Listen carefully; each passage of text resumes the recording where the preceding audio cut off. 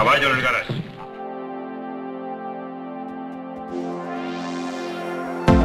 Mis amigas, mis amigos, con mucho cariño, con mucho amor les saludamos y en esta ocasión vamos a platicar de un galán, galán, galán. Lo repetí porque así era considerado en esa época. Jorge Mistral nace en España, ahí filma más o menos 15 películas, se hace muy famoso y es cuando viene a América. Aquí filma la famosísima película El Derecho de Nacer, donde conquista a todos. Albertico Limonta, ¿verdad? Servidor de usted. Papá, no has dado tiempo de hacer las presentaciones. Se decía que era tan atractivo que las mujeres se desmayaban al conocerlo personalmente. Jorge Mistral pues trabajó con las actrices más hermosas de la época. boca Estamos hablando de María Félix, de Silvia Pinal, de Ivonne de Carlo, de Sofía Loren, en fin, mujeres realmente hermosas, Sarita Montiela, española, y, con esto pues de alguna manera se encasilló en estas películas como galán. Sin embargo, pues posteriormente filma otro tipo de películas. Hay una muy particular que le invito para que usted la conozca, donde sale del amor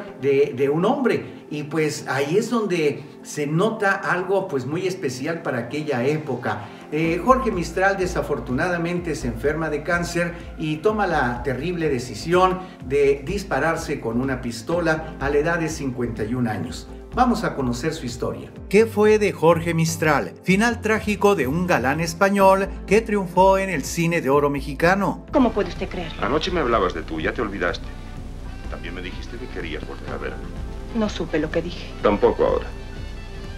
Modesto Llosa Rosell, conocido como Jorge Mistral, nació en Aldaya, Valencia, el 24 de noviembre de 1920. Más de 80 títulos cinematográficos enmarcan la carrera del actor español Jorge Mistral. Su carrera artística comenzó en su país natal al abandonar sus estudios de Derecho y dedicarse al teatro, pero fue en el cine en donde encontró su propio espacio al ser parte de películas como Locura de Amor junto a Sarita Montiel en 1948 y Currito de la Cruz de 1949, ambas de la compañía industrial del filme español Cifesa, cuyas producciones estaban enmarcadas en la época de la dictadura franquista, es decir, de 1939 a 1959. Más de 15 películas realizadas en España lo hicieron adquirir un buen nombre, con el que pronto se pudo posicionar en el mercado latinoamericano. Su trabajo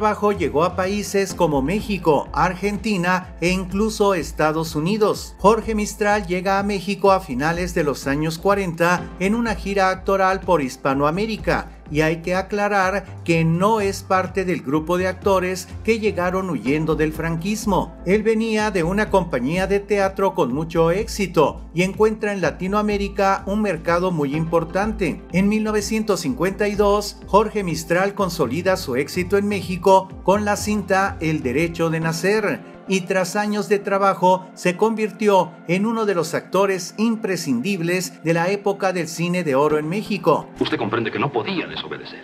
Bastará que averigüe mis antecedentes para que quede bien claro que jamás pertenecía a partido alguno.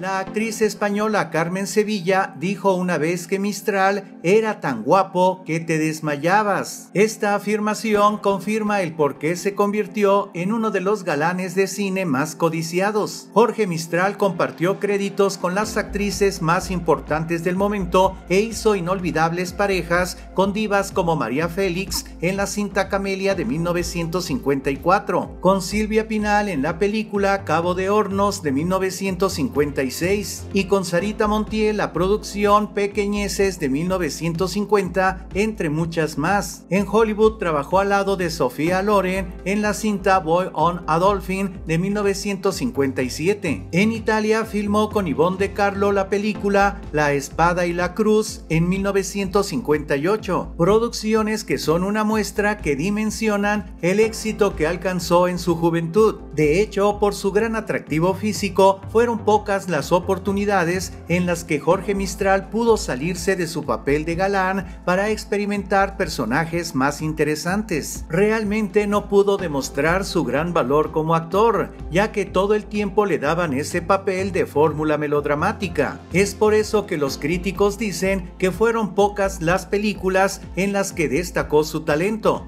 ¿Y por ¿Qué, papito? Ay, mi vida. Hay cosas que las gentes deben de hacer aunque no les guste. Ya lo aprenderás. Solo a finales de su carrera, Mistral pudo desprenderse de esos papeles tradicionales, y un ejemplo claro de ello fue la película Las Puertas del Paraíso de 1971. Ahí realizó un papel muy interesante no de protagonista. En esa película el personaje principal, que es un hombre muy machista, mantenía encuentros sexuales con un tipo maduro interpretado por Jorge Mistral. Era muy sorprendente que un actor que siempre hizo papeles de galán de pronto le dieran un trabajo de esa naturaleza. Por lo mismo, muchos consideran que es una de sus mejores actuaciones. Jorge Mistral también fue parte de la televisión independiente en México. Se dice que le gustaba rodearse de artistas e intelectuales. Su inquietud artística lo llevó a escribir y dirigir tres películas, Crimen sin olvido, La piel desnuda y La fiebre del deseo, todas de 1966. También se dedicó a la declamación en centros nocturnos y grabó algunos discos con poemas de reconocidos poetas. Sé que es mío tu amor, aunque no quiera. Tristemente, Jorge Mistral decidió terminar con su vida el 20 de abril de 1972 en la Ciudad de México con un arma de fuego. Esto mientras su esposa se encontraba en casa, según detalló en ese entonces la prensa mexicana. Tenía 51 años de edad. Esta terrible decisión fue tomada por Jorge Mistral luego de meses de sufrir en silencio un cáncer de duodeno que le provocaba dolores insoportables. Su viuda Olga Marchetti expresó que Jorge alguna vez mencionó su admiración por el actor mexicano Pedro Armendáriz, quien se mató a la misma edad también a causa de un cáncer. En aquel entonces Mistral era parte de la obra Los enemigos no mandan flores y se transmitía la telenovela Los hermanos Coraje. Su trabajo siguió presente en los cines dos años después de su muerte con la proyección de la película La justicia tiene 12 años del director Julián Pastor. Bien, si deseas conocer más de alguna famosa o famoso, escribe en los comentarios. Y si te parece interesante este video, dale me gusta, compártelo con tus amigos y suscríbete a este canal. Soy Marco Antonio Velázquez, hasta la próxima.